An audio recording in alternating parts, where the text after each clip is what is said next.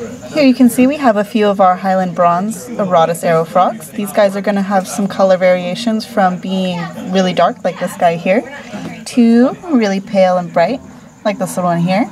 The, the Auratus arrow frogs are some of the easiest to keep and easiest to breed dart frogs uh, in, the in the Dendrobates family, being quite prolific and fairly hardy, so they're going to be great for the beginner 60 characters or less is not enough. If you're interested in ordering any of these guys, you can go ahead and visit our website at www.lllreptile.com, where we have these and all of our available dart frogs listed.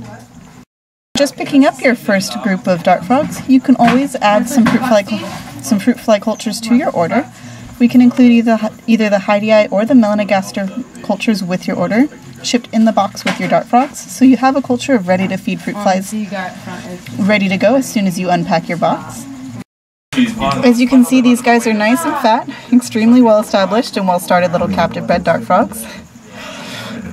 So, if you're interested in ordering them, make sure you visit the website and check them out. And again, these are the Highland Bronze Auratus Arrow Frogs, currently listed online.